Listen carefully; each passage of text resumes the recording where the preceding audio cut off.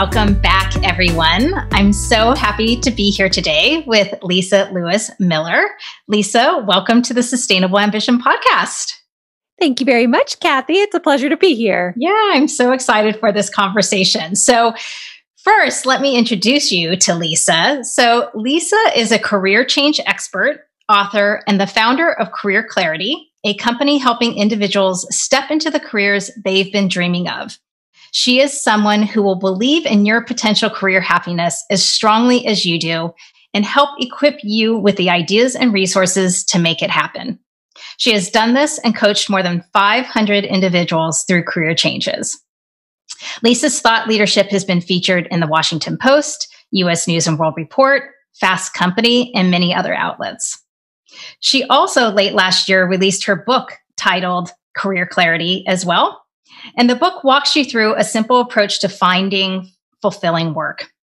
Through the book, you'll learn an adaptive strategy for how to define success on your own terms, identify roles that fit your values, and transition into energizing work that lets you grow. And a fun fact about Lisa is that she used to be a part of an all female barbershop a cappella group that qualified for international competition and was one of the top 40 quartets in the world in 2018. I think that's pretty amazing. um, so Lisa's multi talented for sure. And as much as I'm tempted, Lisa, because I really love acapella, um, but I will keep us focused on career clarity and not um, ask you to sing for us today.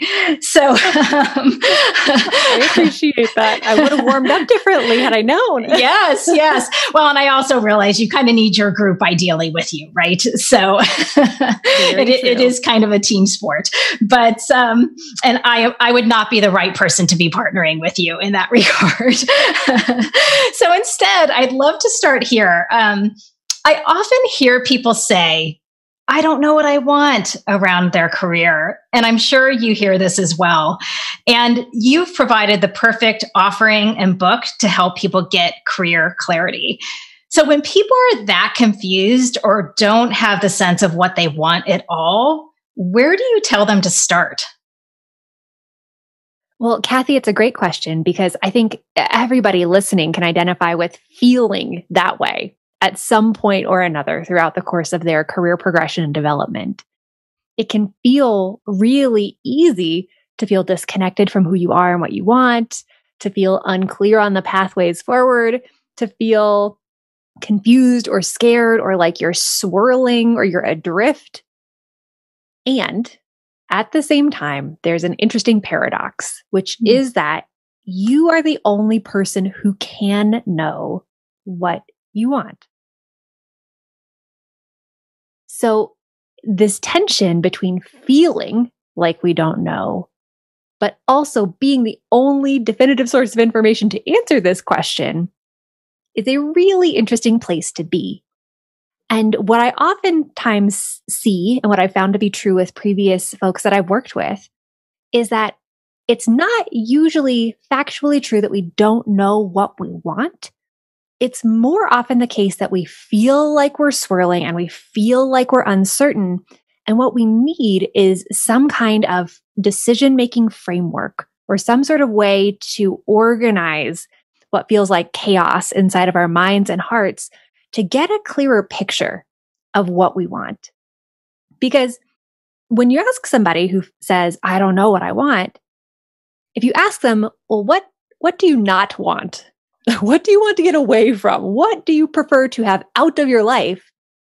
They can usually answer that question with a certain amount of, of clarity and with speed because our bodies create this really beautiful, interesting feedback loop where they give us somatic data points that tell us what we don't want. And I can imagine if you're listening to this and you think about the last time that there was something in your life that was a that was a heck no that was a decision or a project or an experience that you just did not want to have anything to do with or that went south on you even just recalling that memory to the forefront of your mind will create physiological reactions. You might notice your shoulders start to get tense and start to creep up towards your ears. You might notice tension and activation coming in through your arms and your hands. You might notice your breathing gets shallower or faster. You might notice almost a physical withdrawal as if you are being pulled backwards away from a situation. And you can notice almost a sensation of disgust or frustration or or an energetic change internally when you think about the things that you don't want. Now, insofar as we have this internal feedback loop that tells us the things that we don't want, we also have a feedback loop to help us know the things we want to lean into and the things that we do want in our careers and in our lives. So when somebody is coming to me with this question of, I don't know what I want, the very first place that I want to go with them is in recalibrating that internal sense of knowing, recalibrating that inner GPS, if you will, to remember what wanting feels like and being allowed to desire things feels like, remembering what excitement and enthusiasm feels like. Because once you remember how it feels in your body when you feel good and when something feels like a heck yes decision, the sense of energy, the sense of excitement, the sense that you just can't stop talking about the thing and you get even more animated, the the sense of warmth or even just like a, an energized sparkly energy coursing through your veins. That energy can start to make it clear about the things that you want. And kathy i'll also say that once you recalibrate that inner gps and you have a better somatic understanding of the things that you want to lean towards and the things that excite you the next thing that typically happens is that oftentimes it'll bubble up that you actually do know what you want, but it feels forbidden. It feels off limits.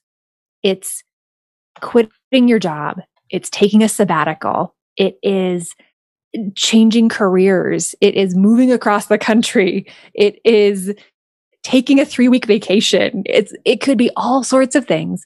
And often what then pops up is this sense of, of, of being impossible.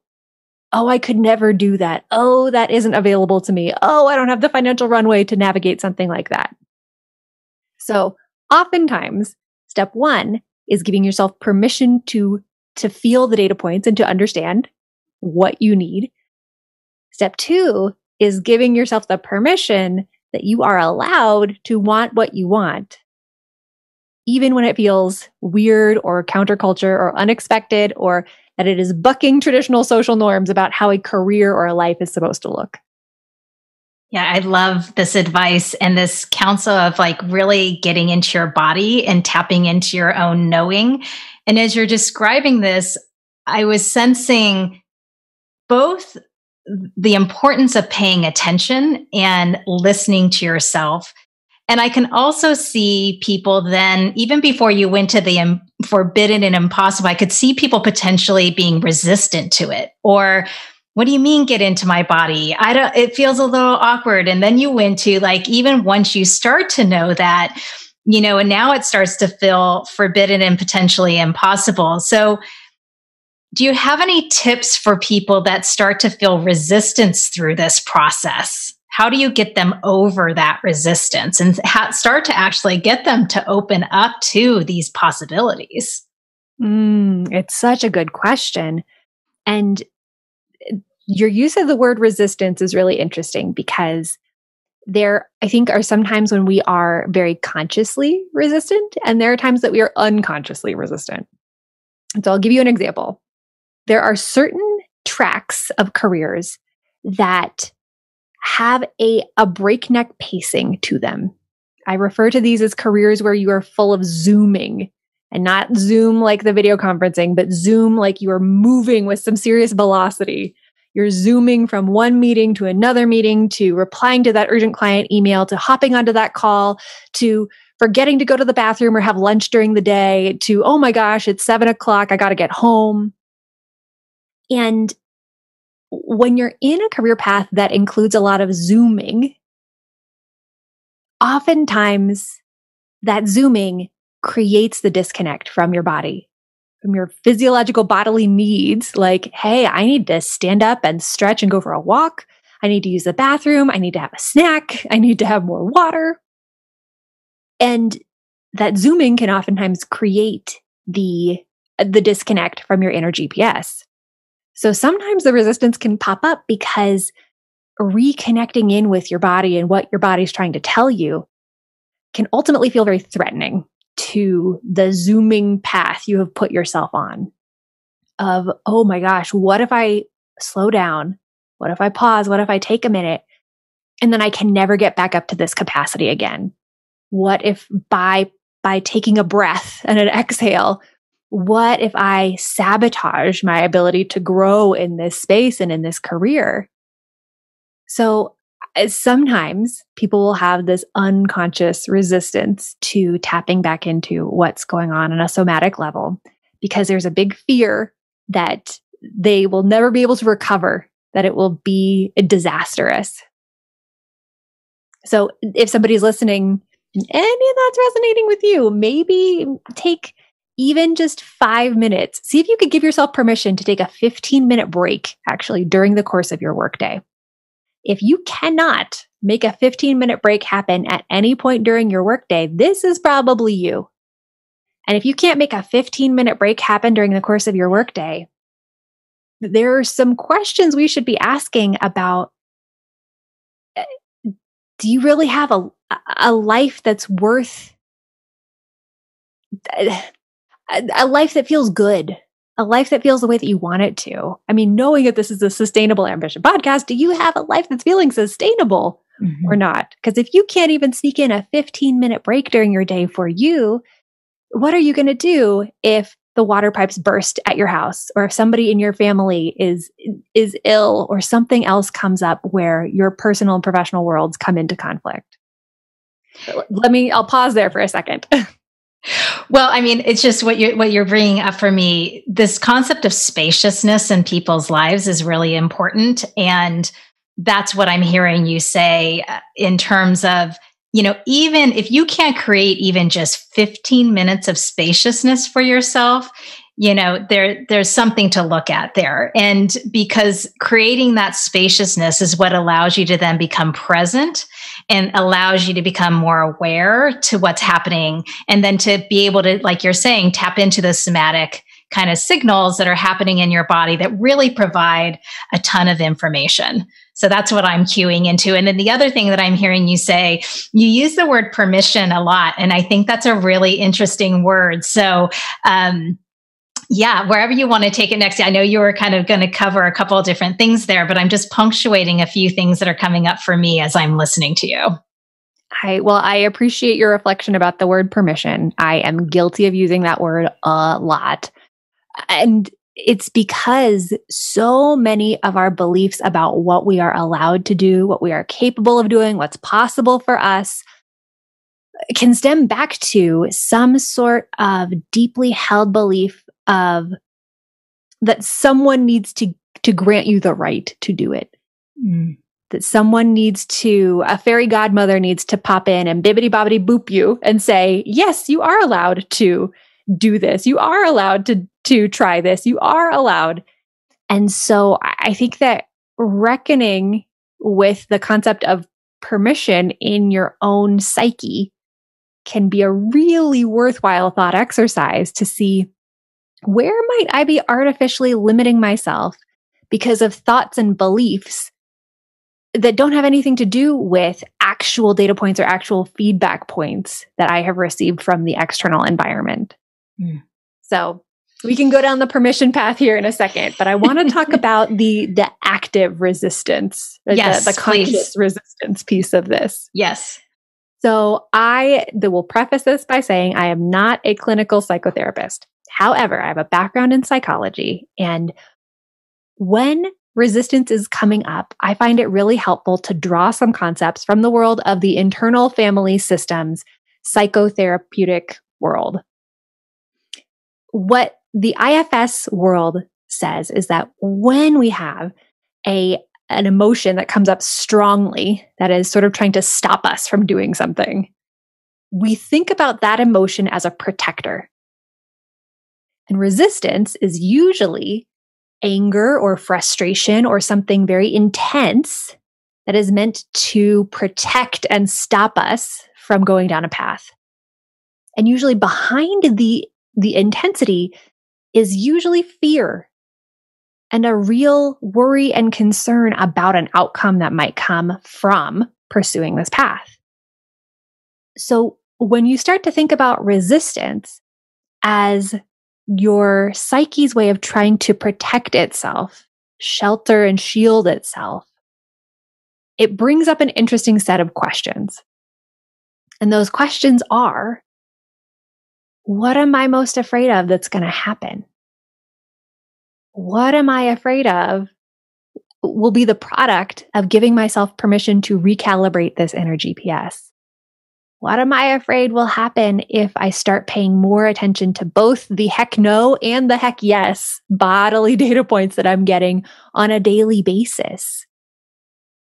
Because you might find that those fears are, are what a, a friend of mine terms as sort of pulling the fire alarm fears, where there's no fire, but there's there's an alarm going off. There's a fear there's nervousness there is a, a signal that is being sent but there's no fire. And if you notice that when you dig into your fears they're fears about things that aren't necessarily grounded in your current lived reality. You know they might be from previous experiences that you've had. They might be from childhood. They might be from something that somebody told you in a different context that your brain has sort of crossed wires and is applying here being willing to dig in and notice that and get curious about that can be all you need to find some spaciousness, Kathy, to borrow your word, and some room to groove to try to take some steps forward and keep making progress. But there's the, the pulling the fire alarm type of anxieties and fears that can come up to try to protect you. But then there are legitimately the anxieties and fears around there being an actual fire right? So this might be if you are in a, a situation where you're feeling really vulnerable. Um, maybe you are in a situation where uh, you're in a, a toxic workplace and there is some risk to being able to maintain your job or maintain employment if you speak out and say something. Uh, so you numb out and you try to ignore all of your feelings because if you notice how you're feeling on a somatic level, it's going to prompt you to want to do something that feels too risky and too scary to do. And if that's the truth for you, if you dig in and there is fire and the resistance is coming to try to keep you safe from the real fire, then often there's a step back in the work that you might be needing you know, I almost think about this on a, a Maslow's hierarchy of needs kind of way that the self actualization in your work is important for sure. We want to get you there. But if you have survival and safety needs that need to be addressed first, let's start there. Let's talk about making sure you've got a financial runway and a financial safety net to take care of you. Let's make sure that you've got risk management plans in place. Let's make sure that you have people who are on your side if it is a toxic work environment and people who can help you to document what's happening. So sometimes the resistance is actually a really helpful, important thing for us to listen to because it's telling us about a fire and trying to keep us safe from something that is a real threat. And sometimes it's just pulling the fire alarm and it is not necessarily relevant or can be managed around very easily to allow you to move forward in a way that feels safe. And you know there's probably inherent risk to exploring any kind of transition or change but where those risks feel fairly minimized and controlled. Yeah there's so much really important wisdom on what you just shared and i love the distinction between really p- pausing to understand your own resistance and what it might be telling you. And that's what I'm hearing you talk about too, in terms of unpacking that.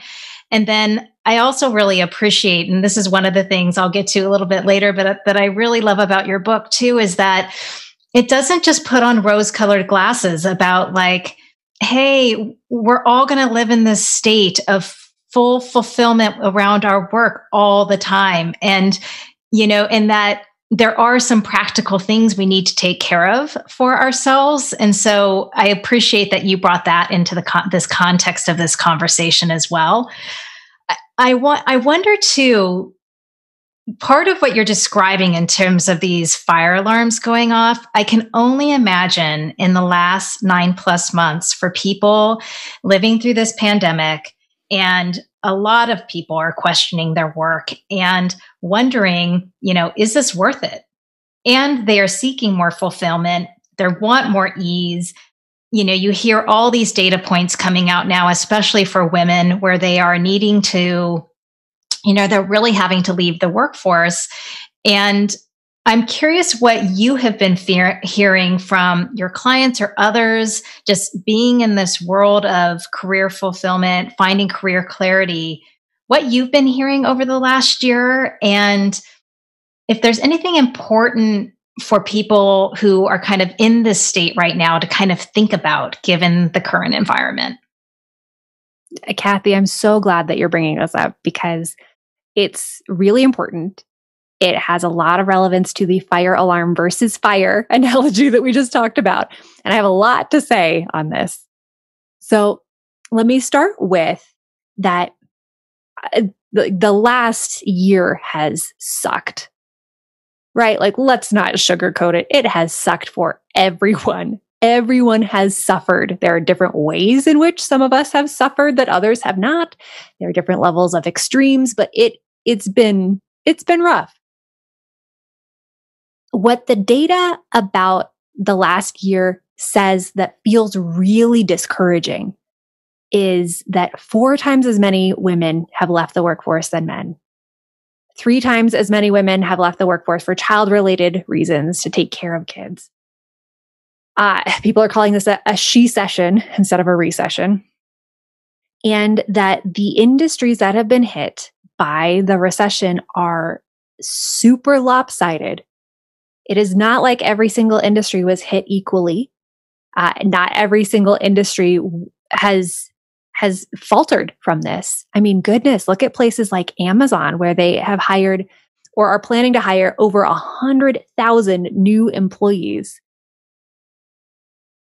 So when you look at the industries that have been hit, you look at hospitality, you look at travel, you look at live events and the arts, it can feel incredibly discouraging. However, the places that have been hit and the people who have suffered are not the whole story. And this isn't meant to minimize the experience that anybody has been through, but it is, is meant to offer up some hopefulness and some optimism about places to look and where to be searching if you're finding yourself in a, a position where you're dissatisfied because in Harvard Business Review, back in 2018, before any of this happened, they did a longitudinal study on economic recessions. And they did this study around publicly traded companies. So they looked at recessions in the 80s, 90s, and then all the way up to the 2008. And what they saw was that among publicly traded companies, 17% of companies uh, fare poorly in recessions. They are not prepared. They do not have contingency or continuity planning in place. They eh, just get kicked in the face. However, in every single one of those recessions, in the economic analysis, 9% or more of publicly traded companies that existed at that time didn't just stabilize, right? Didn't just stay at homeostasis through the recession they actually grew. So, the question for all of us is to try to find where that 9% is right now. Where is there growth? Where is there opportunity? Where is there potential in the marketplace right now? And if you look, you can find it. There are absolutely still folks hiring. And again, when you look at the, the data, if you look at the broad statistics, they don't tell a good story. They say things like professional services are are in a, a complete standstill because nobody's quitting jobs and nobody is hiring. But if you dig deeper into the data and you look at specific areas, specific niche parts of sectors or industries, you see tons, tons more movement. Tech companies are having a heyday right now. Right? If you look at the overarching data, it says that the construction industry is booming. But when you dig into it, it's only actually the residential piece that is booming and growing like wildfire. If you look at commercial or retail, those have practically stalled out. So the encouragement that I have for anybody who is unhappy in their job, they don't feel like their employer treated them well through COVID or protected them or had their happiness and health and safety front of mind, but who's also thinking to themselves, I just need to white knuckle it through because I'm lucky to have a job. There's so much unemployment. There's so many people who are suffering. What I want for those people to hear is that there is absolutely still optimism and opportunity out there. There are absolutely still companies that are hiring right now that could use someone like you who may be doing a much better job in protecting and honoring their employees right now. It may be in a sector or an industry that you didn't necessarily have strong aspirations to go into. But being willing to be responsive to the marketplace and to be open to try something new might give you an opportunity to grow into a place where you might be so much more respected, protected, or appropriately compensated than where you are now. Hanging on to wherever you are into perpetuity out of fear certainly never feels good. So give yourself permission to start the mechanics of looking at what else might be out there. And those mechanics being start tapping into your network and chatting up folks who you haven't been in touch with in a while about what's out there and what's next and how happy they are in their roles.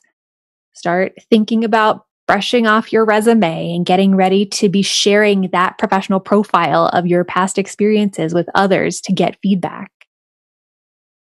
it there are things about the economy right now that don't feel normal, that don't feel stable, that don't feel good, but they're all surmountable issues. And I'll say too, Kathy, that when it comes to the execution of a job search right now, I have a team of five coaches that works with me at Career Clarity.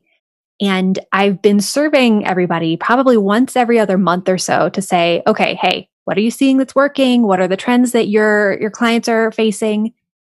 And nobody is seeing across the board changes. Some people are saying that hiring is slower. Some people are saying there are more rounds of interviews than they're used to. Other people are saying hiring is going faster because candidates are getting a lot more, or organizations are getting a lot more candidates so that they can make a decision much more quickly. So be careful about the the information that you're consuming about what the job market is looking like. Because if you are consuming all of the news stories about it being doom and gloom it's going to be easy to find data points that back that up. Look for the positive look for the optimism look for the growth look for the openings and the job postings and people who are currently getting hired right now and you'll find those too and lean into those because they are going to be so much more helpful and life-giving for you yeah, that's really wonderful. And I think to remind people that it's great to hear and that you're hearing it from your coaches as well that the job market is active. You know, like you're saying, there are certain, yes, there's been shifts and impacts. And I don't want to minimize, just like you, that people are struggling during this time, but there is opportunity out there as well. So I think stepping into that hopefulness is a really um, I would love, I, I really love leaving people with that and to kind of, yes, you might have to pivot or shift your focus areas or where you might want to look. But I'm also hearing it comes back to that permission thing again, which is give yourself permission to um, think that there's something more out there for you and so, you know, you in the book talk about how you can fall into this trap of just being grateful for what you have instead of kind of stretching for more. And to shift a little bit, but along these lines, you talk about in career clarity, like when you start to look for something new, you know, thinking about both success on your terms as well as fulfillment. But I'd love to start with the success piece because I, I wholly agree with this that, you know, especially from my perspective, from a sustainable ambition perspective, it is not going to be sustainable if you are following somebody else's path if you're settling and kind of just saying, I should just be grateful for what I have, um, really getting clear on, well, what is success on your terms? And honoring that seems really important to me. For you, what does defining success on your terms mean? Mm, what a great question.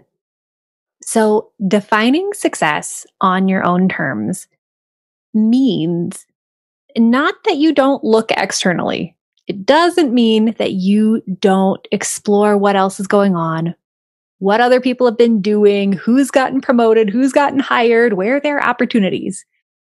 But it's taking in all of those external data points and running them through a filter of how much does this matter to me being able to be the person that I want to be and live a life that feels authentic to my values? And so defining success on your own terms starts with first defining what your values are. And it's then through the lens of those values, evaluating different options and different possibilities to see which ones feel most life giving and most aligned for you. It, one of the really interesting things that I've learned through doing this work is that there are some principles of, of success and fulfillment in our work that feel pretty universal everybody that I have ever spoken with wants to help people. Right? They want their work to be meaningful and be impactful in some way. But how you define helping people is a wildly personal and important thing to sit with. I'll give you the example of my little sister, which I mean, I suppose when we're adults, little sister feels like such a silly thing to say. My younger sister uh, she has spent the majority of her adult life living and working in Japan. And she holds really high values around cross cultural competency, around global diplomacy, around understanding other people. And that's how she defines helping she defines helping as teaching and creating a cultural bridge. For me, that's a way of helping, but that doesn't feel as resonant to me personally. I don't want to yuck her yum. I think that that's a wonderful way of helping people for her that is a manifestation of her values. And it's how she defines success for herself. But for me, it looks and feels different. And so understanding yourself on a deep, intimate, personal level about what you value most, what you care about, what you care about that other people might not care about. Those kinds of distinctions are so important to being able to make empowered career decisions that allow your path to feel really authentic and not just feel like you're you're trying to follow a model or follow the rubric that's set out for you by your employer or follow exactly what your mom did or follow, you know, the cultural norms around you need to be getting promoted every two to three years. And this is the next title you should go to. And this is the next rung. And this is when you should have a corner office. You know, for some of us, corner office is not in our personal definition of success. For some of us, being able to be present and have flexibility to be with our, with our kids, or if you're a caregiver for a family member, being able to be present for them. I, Defining success on your own terms might mean that you get to live abroad, and that's a huge value for you. That won't be true for everyone. And recognizing how you are different and unique and a, a beautiful creature in that way is then critically important to being able to define success in a way that it helps you to make decisions that are going to feel good. Yeah, I think this is so important. And one of the things you started with too is this idea that for so many of us, and I find this when I talk with a lot of people, is that we're able to describe what we want in very generic terms. But what you're talking about is really getting to know yourself deeply and to get past these kind of surface level ways of being able to describe things. And I think it relates also to oftentimes I find that people, when they're looking for work, you know, hey, I want to make a career transition or a shift, and they jump immediately to starting to look for the job and there's a lot of work to do um, you know talk about career clarity and like making sure like that next step is going to be something that feels really powerful for you it, there's a lot of work to get in tune with yourself and i wonder do you have any suggestions for people to like get that layer deeper you know when it's the yes I'd like to help people. I want meaningful work. I also find this with so many of us. It's not just millennials, folks. Like most of us, as you described, want to have meaningful work. It's it, we want to help people or we want to have an impact in some way. But I love how you're saying we really need to unpack that a little bit more so that we find those things that are really attuned to us. Well, the first step that I would encourage folks to take is to ask yourself the question of what does blank quality mean to me? So, what does meaningful work mean to me? What does problem solving mean to me? And that can be a good jumping in point to start to define that for yourself. But the next thing to do is to bounce your definition off of somebody else and say, based on what I've described, what kind of job opportunities would you recommend for me? Because if you hear somebody then reflecting back to you of, okay, so you say that um, helping people is making a meaningful difference in their lives and supporting them through hard times. Okay, well, then the kind of careers that sound like they might go along with that are maybe a social worker or maybe uh, a pastoral counselor, maybe a nurse.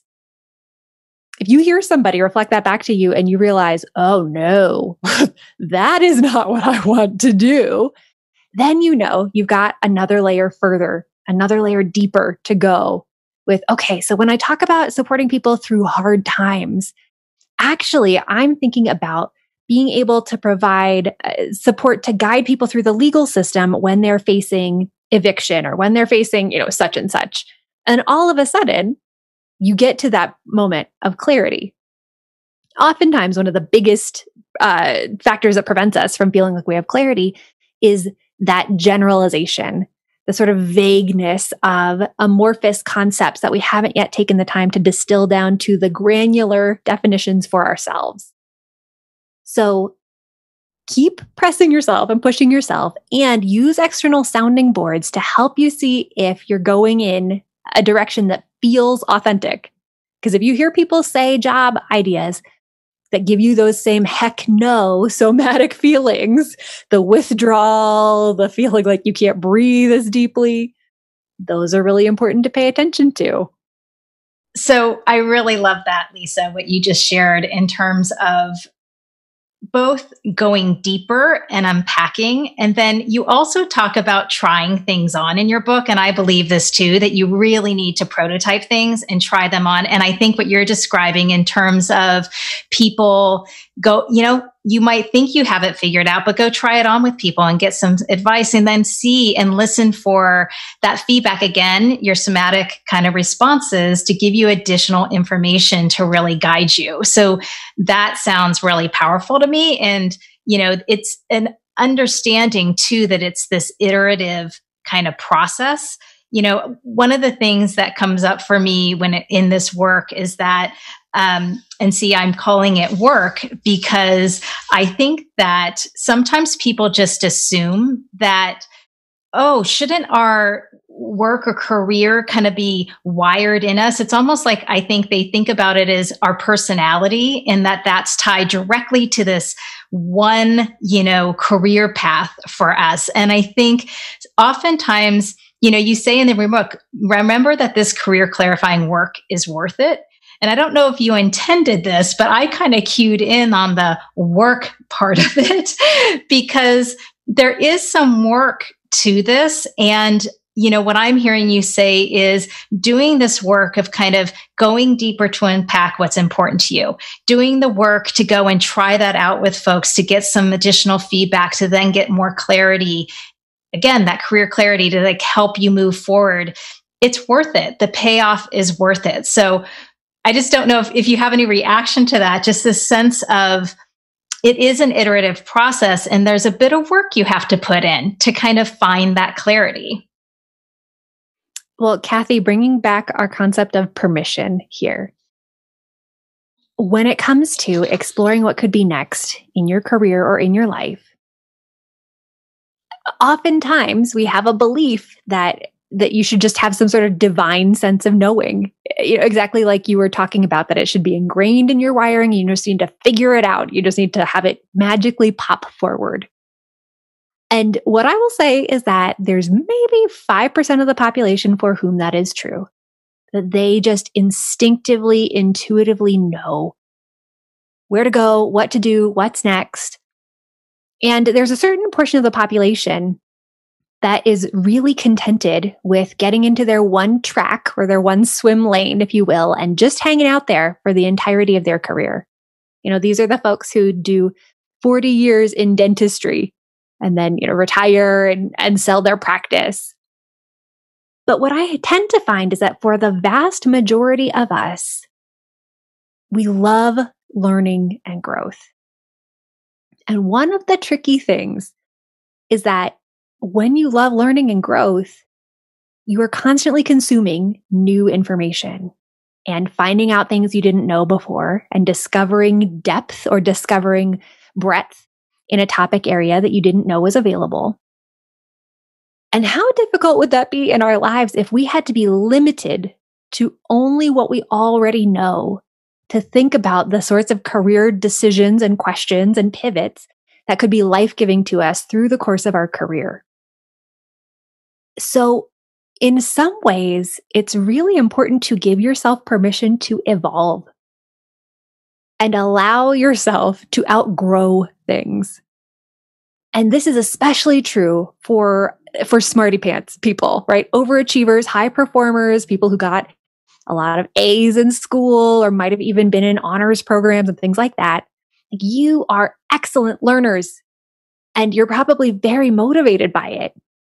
And you are more likely to outgrow a job or an industry or a function faster than some of your peers.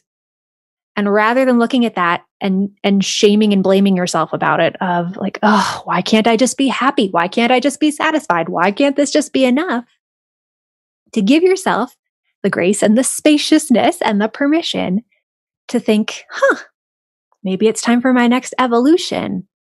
I wonder what would be the most life giving for me to lean into next, or to learn next, or to master next. Can take something that can feel really confronting and scary and turn it into a beautiful invitation and opportunity to lean into doing something that you love with being stretched and being challenged. I think this is such an important note. It's what to me one of the core things about sustainable ambition is this, you know, the second pillar I talk about is right aspiration, which tunes into this idea that our satisfaction and our ambitions often for most of us ebb and flow over time. And just as you're saying, and I love how you pull this forward, this idea that, you know, many of us love growth and learning and you need to give again that permission word that openness for you to learn along the way to recognize that you might want the next growth chapter and to take that on and that it allows you more freedom to just accept that you're going to you know kind of have a journey around your career as opposed to finding it's because there's so much pressure we all put on ourselves you know around finding that one path. And i feel like a lot of people end up in this space of shame when they get to like a mid career point or they're even just 10 to 15 years in and they start to say you know i haven't figured it out yet. You know i haven't landed. And personally, I kind of feel like, well, there may not be a landing and that we need to accept that this is it's a little bit more like you say an acceptance of evolution. So and i'd love to i love what you're sharing because i i really would like to normalize this a little bit because i just don't think it's talked about enough in our society especially around career management. I completely agree kathy and i think that uh, some of the reasons for that are really understandable. That previous generations to ours didn't have the internet They didn't have the ability for information to be so free flowing and for you to have so many more choices and options in your life. The way that the economy and the marketplace functioned were based around things like pensions, where it was important to stay in one place and do the same thing for 40 years. Otherwise, you didn't get access to this safety net. So, because the world and the marketplace have evolved so dramatically over the last 30, 40 years, it makes sense that we would have some previous beliefs about career pathing, ambition, figuring things out, you know, what a successful, fruitful career is that we would need to, to shed and that we would need to create afresh for this time and this world. You know, I, Jenny Blake, who we both love and admire, says, you know, if change is the only constant in our world, let's get better at it. And I think that giving yourself permission to change and to evolve and to be a constant work of art that you're refining and polishing and adding to over the arc of your career and your life is a really empowering, beautiful way to think about career ambition in a way that can feel sustainable. Yeah. I love that as a closing note before I ask just a final piece of advice, because I think I could talk to you a lot longer, Lisa, and ask you a lot more questions. Um, but this has been such a fabulous and I think hopeful conversation, a really empowering conversation for people to walk away with like, believe there's opportunity out there for you, believe that you have permission to land in something that's going to be really fulfilling for you. And it starts with giving yourself that permission as well to start to tap into your own knowing and to honor that.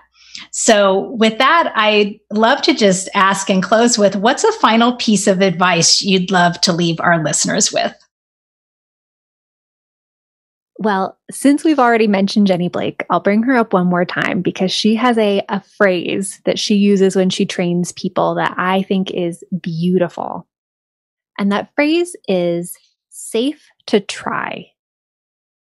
When it comes to thinking about what could be next in your career, in your life, in your relationship, in your health, in your whatever, when we think about our ambition and our aspirations, sometimes it can feel like those dreams and hopes are so big and so far away that they they'll never happen or that they are just out of reach.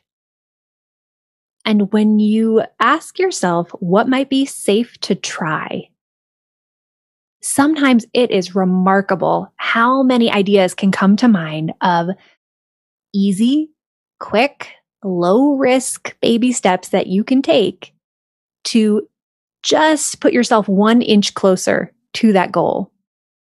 Maybe it is sending one networking email. Maybe it is looking up one podcast in some, for somebody who works in the industry you want to get into.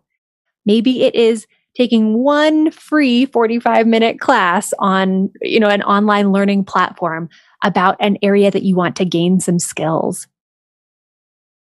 The things that are safe to try and building up a a snowball of momentum. Uh, it starts from that space of tiny steps and safe to try and gains its own life and its own energy from consistent, persistent action. So if you're listening to this episode of the podcast and you have been craving a change, but you're feeling overwhelmed with where to start, ask yourself what might be safe to try to figure out even just one baby step that will start to make a meaningful difference in your level of commitment and conviction and excitement around making that transition actually happen. I love that, Lisa. And I love the encouragement for people to get into action because that's where that um, energy will be found and where they will start to find momentum. And it's in these small, safe to try moments. So I love that. Thank you for sharing that. Well, it's been wonderful to talk with you, and I'd love to just um, make people let make sure to let people know where they can find you. So how can people keep in touch with you? Well, Kathy, it has been an honor and a pleasure to be here. And if anything that I've been saying has been resonating with anybody listening, you can find me at getcareerclarity.com and you can pick up a free preview copy of the beginning of my book at getcareerclarity.com slash book. Perfect. And I will capture that as well in the show notes. And I highly recommend the book. It's um, super insightful and helpful. And Lisa has a lot of great actionable steps within the book to guide you through. Um, and again, you can find her at getcareerclarity.com. So thank you again, Lisa. I've really loved the conversation and so appreciate you sharing your wisdom with our listeners.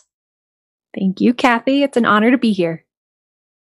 Find more inspiring interviews and get show notes for this episode at sustainableambition.com slash podcast. Make sure you don't miss an episode or my insider tips, guides, and tools by signing up for Sustainable Ambition Forum, my twice monthly newsletter. Sign up at sustainableambition.com slash subscribe. Thanks again for joining me. Speak with you next time.